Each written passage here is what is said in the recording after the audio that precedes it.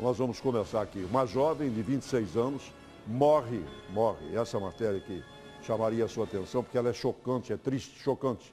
Morre ao colidir a motocicleta que conduzia na lateral de um ônibus. O acidente fatal aconteceu na região central de Várzea Grande. Os detalhes nós temos com Oliveira Júnior. É triste. Conta, Oliveira.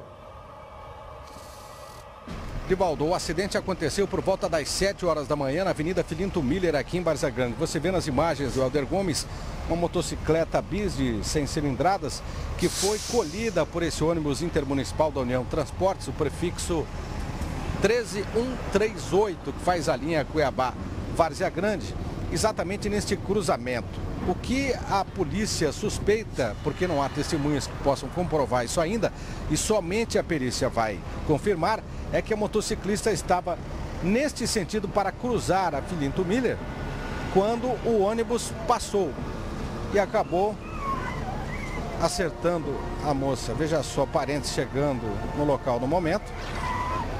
Uma imagem chocante, triste, parente da vítima chegando no local. É a mãe, a mãe da menina. Uma cena desesperadora. Uma cena triste, desesperadora, porque a moça morreu no local, a mãe chegou agora e a causa do acidente pode ter sido exatamente esse semáforo que está no amarelo piscante, ou seja, ele não está acendendo a luz verde nem a vermelha, o amarelo piscante e o acidente infelizmente aconteceu. Uma moça realmente jovem, o primeiro nome dela é Aline, a mãe acaba de chegar aqui no local do acidente, sendo contida pelos policiais militares e também pela delegacia de trânsito que já está no local.